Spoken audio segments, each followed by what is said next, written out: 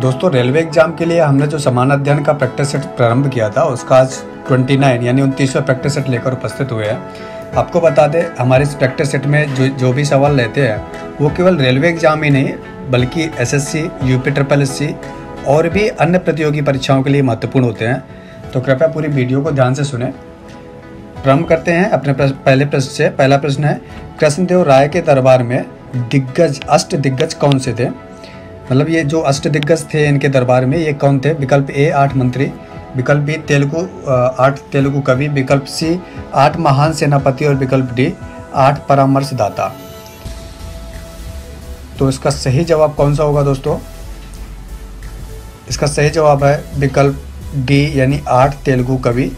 इनको अष्ट दिग्गज नाम से जानते थे कृष्णदेव राय के दरबार में रहते थे।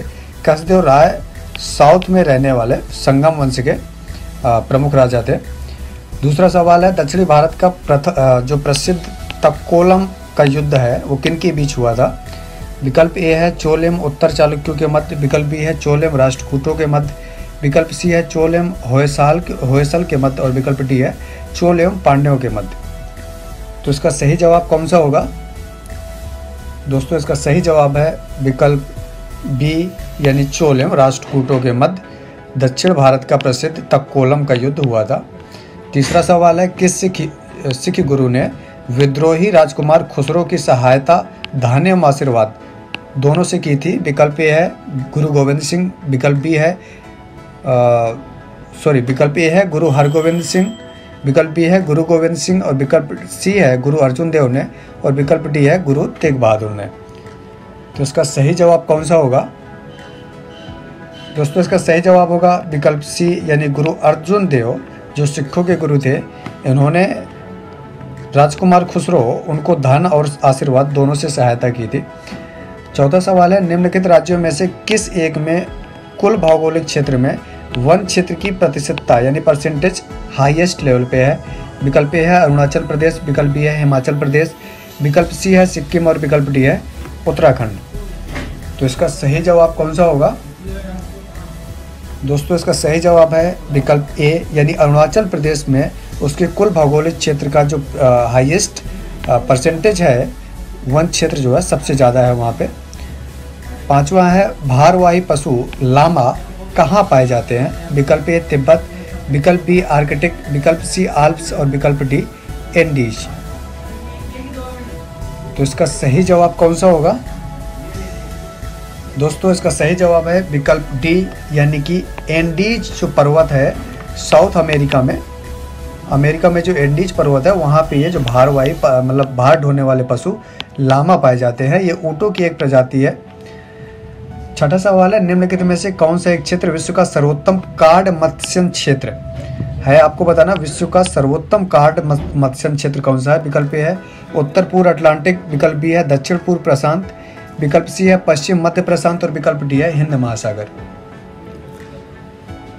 तो इसका सही जवाब कौन सा होगा दोस्तों? आप बताएँ। जी हाँ दोस्तों, इसका सही जवाब है विकल्प ए, यानी उत्तर पूर्व अटलांटिक। विश्व का सर्वोत्तम कार्ड मत्स्य क्षेत्र आपको बता दें। मछलियों की प्रजाति में कार्ड जो है, एक विशेष प्रकार की मछली होती है। सातवां सवाल है, लोकसभा का पहला चुनाव। लोकसभा का पहला चुनाव कब हुआ था? विकल्प ए है उन्नीस सौ बावन, विकल्प बी है उन्नीस सौ चौवन, विकल्प सी है उन्नीस सौ तिरपन और विकल्प डी है उन्नीस सौ सैंतालीस। आपको बताना है लोकसभा का पहला चुनाव कब हुआ था। तो दोस्तों, इसका सही विकल्प होगा विकल्प ए, यानी उन्नीस सौ बावन में भारतीय स्वतंत्रता के बाद लोकसभा का पहला चुनाव हुआ था। इसको ज़रूर याद रखें दोस्तों। आठवां सवाल है, राज्यसभा का अध्यक्ष कौन होता है? तो विकल्प ए है राष्ट्रपति, विकल्प बी है उपराष्ट्रपति, विकल्प सी है प्रधानमंत्री और विकल्प डी है किसी एक राज्य का राज्यपाल। तो इसका सही जवाब कौन सा होगा? दोस्तों, इसका सही जवाब है विकल्प बी, यानी कि उपराष्ट्रपति, वाइस प्रेसिडेंट राज्यसभा का अध्यक्ष होता है। आपको बता दें, उपराष्ट्रपति का जो चुनाव होता है, वो अनुपातिक प्रतिनिधित्व प्रणाली के एकल संक्रमणी पद्धति से होता है और इनको चूँकि नाम मात्र के उपराष्ट्रपति होते हैं जबकि इनका मुख्य काम जो होता है वो होता है राज्यसभा का अध्यक्ष पद पे आ, काम संभालना। नवा सवाल है भारतीय संविधान को कब अपनाया गया था? विकल्प ए है 26 नवंबर उन्नीस सौ उनचास विकल्प बी है 15 अगस्त उन्नीस सौ सैंतालीस विकल्प डी है 26 जनवरी 1950 विकल्प सॉरी विकल्प सी है 26 जनवरी 1950 विकल्प डी है 2 अक्टूबर उन्नीस सौ तो उसका सही जवाब होगा दोस्तों, विकल्प ए यानी 26 नवंबर उन्नीस सौ उनचास को भारतीय संविधान को अंगीकृत किया गया था, या अपनाया गया था। हालाँकि यह पूर्णतः 26 जनवरी 1950 से 1950 से लागू हुआ, लेकिन 26 नवंबर उन्नीस सौ उनचास को अपना लिया गया था। दसवां सवाल है, उधार पत्रक यानी कि क्रेडिट कार्ड को किस नाम से जाना जाता है? विकल्प ए है सुनम्य मुद्रा यानी प्लास्टिक मनी। विकल्प बी है दुर्लभ मुद्रा, हार्ड मनी। विकल्प सी है कागज़ मुद्रा, सॉफ्ट मनी। और विकल्प डी है सुलभ मुद्रा, इजी मनी। तो इसका सही जवाब कौन सा होगा?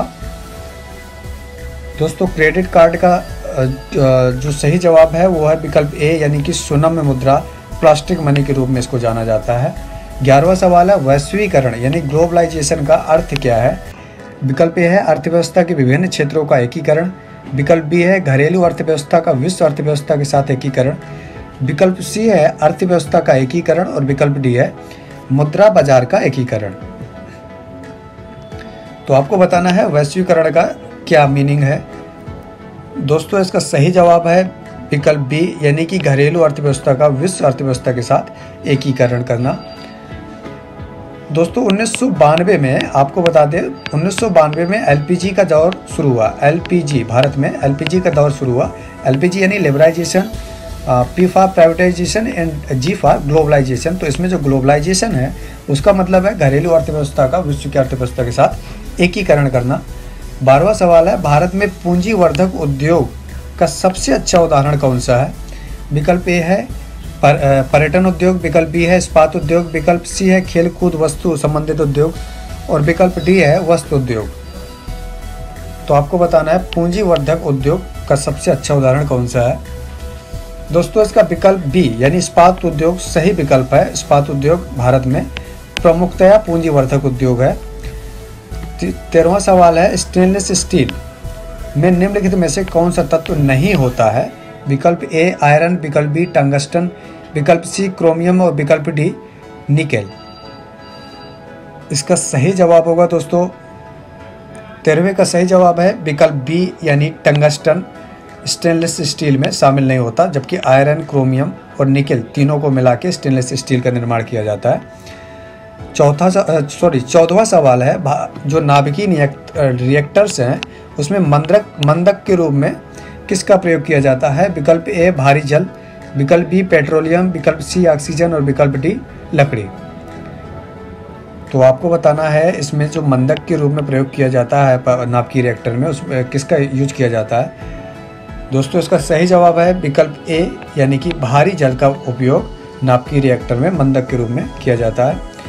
पंद्रवा सवाल है, उत्प्रेरक कन्वर्टर सामान्यतया किसमें बनाए जाते हैं, किससे बनाए जाते हैं? आपको बता, बनाना किससे बनाए जाते हैं? ये उत्प्रेरक कन्वर्टर। विकल्प है संक्रांत धातु, विकल्प है क्षारीय धातु, विकल्प सी है हाइड्रोजन और विकल्प डी है कार्बन। तो दोस्तों, इसका सही जवाब कौन सा होगा?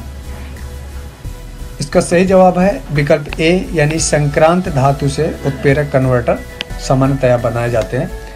दोस्तों, उम्मीद है आज की वीडियो आपको पसंद आई होगी। अगर ये वीडियो पसंद आई हो तो कृपया लाइक करें शेयर करें, साथ ही हमारे चैनल को सब्सक्राइब ज़रूर करें। और बेल आइकन को बजाना ना भूलें, ताकि हमारी वीडियो सबसे पहले आप तक पहुँचे। हमारी कोशिश रहती है कि जो भी तथ्य हमारे वीडियो में जाए, वो सारगर्भित हो और परीक्षा की दृष्टि से उपयोगी हो। सिर्फ़ तथ्यों को इकट्ठा करने के लिए तथ्य ना दे आपको। फिर भी अगर आपके कोई सुझाव होते हो तो कृपया कमेंट बॉक्स पर ज़रूर लिखा करें। हम उन पे, उनके अनुसार जो है, सुधार करने के लिए तत्पर हैं। आपके सफल भविष्य के लिए हमारी ओर से शुभकामनाएँ। धन्यवाद।